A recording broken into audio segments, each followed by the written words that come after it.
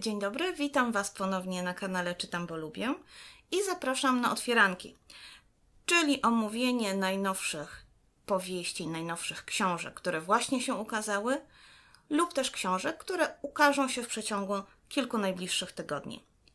Mamy dzisiaj kubkę kryminałów, mamy powieści obyczajowe, jest książka o Japonii, książki dla dzieci, a także książka o macierzyństwie. Mam nadzieję, że znajdziecie coś dla siebie. Zaczynamy od kryminałów. Pierwszą książką, o której chciałam Wam opowiedzieć, jest Schronisko.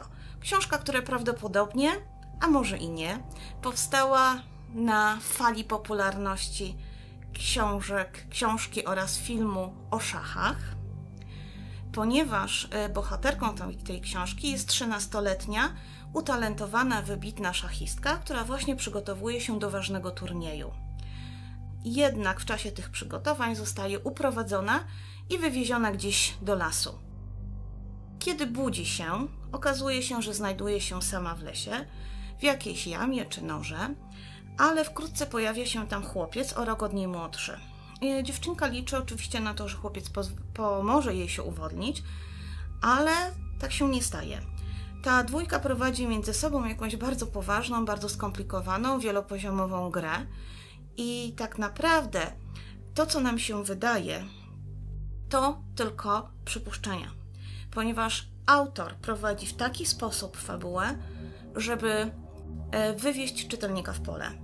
Zakończenie tej książki jest wielkim zaskoczeniem.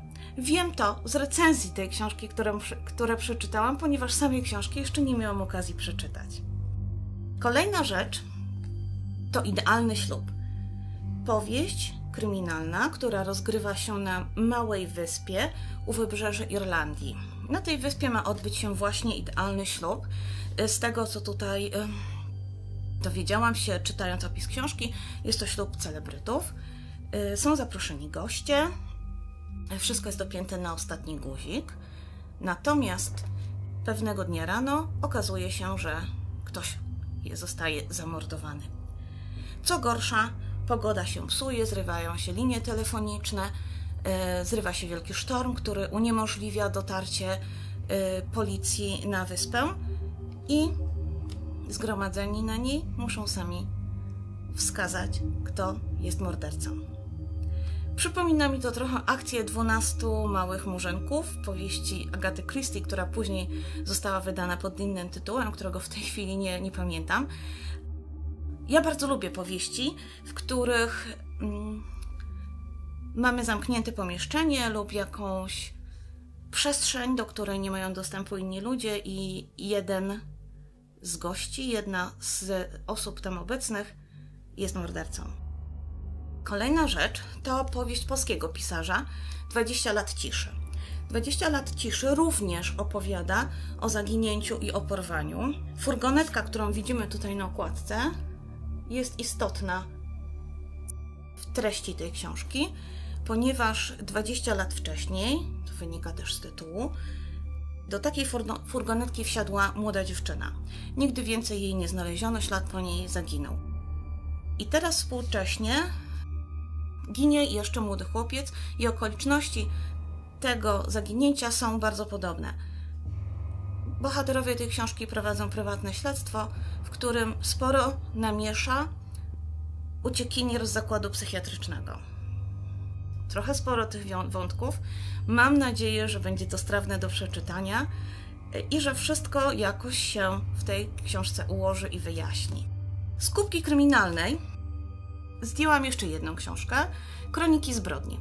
Kroniki zbrodni jest to wywiad przeprowadzony z panią Moniką Całkiewicz, która jest byłym prokuratorem oraz specjalistką od kryminalistyki i prawa karnego. Jest to osoba, która również napisała książkę pod tytułem Zbrodnia prawie doskonała. Ja tę książkę czytałam i też była wywiadem. Wydaje mi się, że będzie ciekawa, ponieważ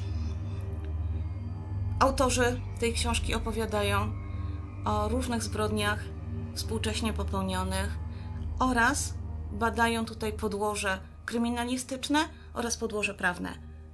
Ja takie książki bardzo lubię, one otwierają oczy na, na wiele kwestii. Kolejna rzecz to w jednej chwili. Powieść podejrzewam obyczajowa, ale zaintrygowało mnie w niej to, że opowiada, zaczyna się tragicznym wypadkiem. Wypadkiem samochodowym, w którym ginie 16-letnia dziewczyna. I ta dziewczyna, tak jakby pozostaje częściowo na ziemi. Obserwuje to, co się dzieje po jej śmierci. A dzieje się sporo, ponieważ jej rodzina wzajemnie obwinia się o ten wypadek, o to, co się stało. Y, jej przyjaciółka najlepsza próbuje zbadać okoliczności tego wypadku, ponieważ różne rzeczy zostają przekłamane. I jej siostra ma ochotę pójść w ślady swojej, swojej siostry. Więc podejrzewam, że będzie to powieść bardzo nabrzmiała od emocji, od bardzo trudnych emocji, od bardzo trudnych pytań. Pytań y, o etykę i o moralność y, oraz o to, jak radzić sobie z traumą po tak strasznym wypadku. Kolejna rzecz to czysty wymysł. Czystym wymysłem Oscar Wilde nazwał kulturę japońską. I właśnie ta książka opowiada o tym, jak popkultura Japonii podbiła świat. I powiem Wam szczerze, że ja, kiedy przysłano mi propozycję recenzencką, kiedy zobaczyłam tę okładkę, to sobie wyobraziłam, że to będzie książka naładowana ilustracjami, wieloma fotografiami, taka bardziej albumowa. Okazało się, że książka to jest czysty tekst. Jest tutaj jedna jakaś bardzo taka uboga wkładka ze zdjęciami i nic więcej. Dlatego podejrzewam, że to będzie bardziej wnikliwa analiza tego, jak popkultura japońska podbiła cały świat. Bo przecież kto z nas nie zna Hello Kitty, kto z nas nie zna Pokémonów czy Game Boya. Więc dla osób, które interesują się kulturą Japonii, no to podejrzewam, że to jest must have. Trzeba to mieć.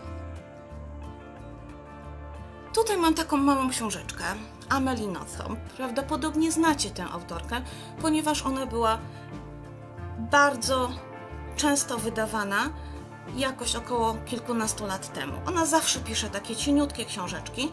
Tym razem uderz się w serce. Krótka powieść opisująca y, młodą dziewczynę, nastolatkę, która zakochuje się w najprzystojniejszym chłopaku. Generalnie są taką, wiecie, gwiazdorską parą. Y, I kiedy dziewczyna zachodzi w ciążę, to jej świat się zmienia. Ona nie chce tego dziecka. To dziecko jest dla niej kulą u nogi. Nie kocha go. I tutaj mamy też opisany świat z perspektywy dziecka, które czuje, że nie jest kochane przez swoją matkę. Czuje, że zawsze jest odtrącane, zawsze jest uważany przez matkę za, za kogoś gorszego, a także matkę, która zazdrości tego, że córka jest młodsza, popularna, piękna i mądra. Mocna rzecz, naprawdę mocna rzecz. Bankart ze Stambułu. Jest to książka, którą ja już czytałam. Czytałam ją kilkanaście lat temu, kiedy została wydana w Polsce po raz pierwszy. Tutaj mamy nowe wydanie z poprawionym tłumaczeniem. Jest to, y, jak mówią na okładce, najgłośniejsza powieść Elif Szafak. Y, książka opowiada o dwóch rodzinach. Jedna rodzina mieszka w Turcji. Jest to rodzina dziwna, ponieważ składa się z samych kobiet. Wszyscy mężczyźni albo nie żyją, albo wyemigrowali. I te kobiety to takie, wiecie, mocne osobowości, każda jest inna. W tym domu y, panuje gwar. Wszystkie się kochają, chociaż każda ma zupełnie inne zainteresowania, inne poglądy na życie. Druga rodzina mieszka w Stanach Zjednoczonych. I jest to rodzina złożona z trzech osób. Jest mama, Amerykanka, jest ojciec, ojczym, Turek oraz ojciec biologiczny dziewczynki, który był Ormianinem. I dziewczyna bardzo kocha swojego przebranego ojca, swojego ojczyma, Turka. A, ale kiedy dochodzą do niej informacje na temat tego, że pomiędzy Turcją a Ormianami jest bardzo duży, bardzo zaogniony od dziesiątek lat konflikt, postanawia zbadać, czy naprawdę Turcy są tacy źli. I przybywa do Turcji, do tej swojej dalekiej, dalekiej rodziny, w której są same kobiety. Bardzo piękna powieść. Ja Wam zalinkuję na dole moją recenzję z bloga. Będziecie mogli sobie dokładniej przeczytać, co, co o niej sądzę, ale też trochę więcej jest tam o, o samej treści. Ostatnia już z powieści to stroiciel. Stroiciel zaintrygował mnie tym, iż dzieje się pod koniec XIX wieku, to jest 1886 rok. Stroiciel fortepianów zostaje wysłany do Birmy, gdzie ma nastroić instrumenty y, majora mieszkającego tam w kolonii. Kiedy przybywa do tego egzotycznego miejsca, wszystko się zmienia. Po pierwsze, jest pod bardzo dużym wpływem majora. Nie, nie widzę, nie mam okularów. Majora, które, do którego go wysłano. Pojawia się tam, tam też również piękna kobieta. Pojawia się tam też totalnie inna kultura. Stroiciel stoi na rozdrożu. Nie wie, czy wracać do Anglii, do swojej rodziny, do swojej żony, czy też wiązać swoje życie z Birmą, z egzotyką, która go tak bardzo wciągnęła. W pierwszej chwili, gdy przeczytałam y, opis tej książki, przyszły mi do głowy trzy inne rzeczy, czy inne trzy inne powieści. Po pierwsze, jądro ciemności, które wciąga tym, że jest inne. Po drugie, euforia, również wydana przez Rebis. I po trzecie, fortepian. No, innych rekomendacji lepszych na pewno nie znajdę. I jeszcze mamy dwie książeczki dla dzieci. Pierwsza to Zagubiona Małpka. Jest to książka tej samej autorki, która napisała mojego ukochanego Grufalo oraz Miejsce na miotle. Tutaj mamy małpkę, która zgubiła się mamie i tej mamy szuka. Pomaga jej motylek, ale motylek nie jest zbyt rozgarnie, rozgarnięty i co chwilę zaprowadza małpkę do zwierzątka, które jego mamą nie może być. Książka rymowana, pięknie ilustrowana. Na pewno spodoba się każdemu dziecku. I druga rzecz, jeszcze większy format, to Wiktor. Wiktor y, jest myśliwym. Myśliwym, który upolował takie tutaj, widzicie, piękne, egzotyczne zwierzę i sobie zrobił z niego skórę na podłogę.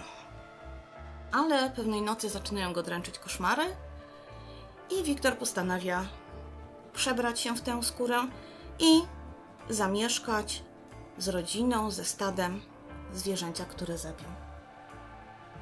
Niezbyt dużo tekstu, ale przepiękne ilustracje. Myślę, że książka ym, przez swój humor, ale także przez naukę spodoba się nie jednej mamie, nie jednemu tacie i nie jednemu dziecku.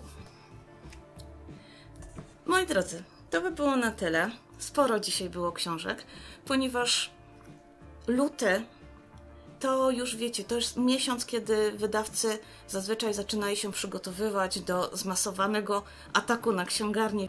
Nie wiadomo, jak będzie w tym roku, ale widzę, że książek ukazuje się naprawdę bardzo dużo i ukazują się naprawdę wspaniałe tytuły. Stąd też co chwilę przychodzą do mnie nowe powieści i nowe pozycje, które mam ochotę przeczytać. Mam nadzieję, że znaleźliście coś dla siebie. Dajcie znać w komentarzu, która książka lub które książki najbardziej chcielibyście zobaczyć na swojej półce. Ja Wam bardzo dziękuję i do zobaczenia. Pa, pa, pa, pa, pa.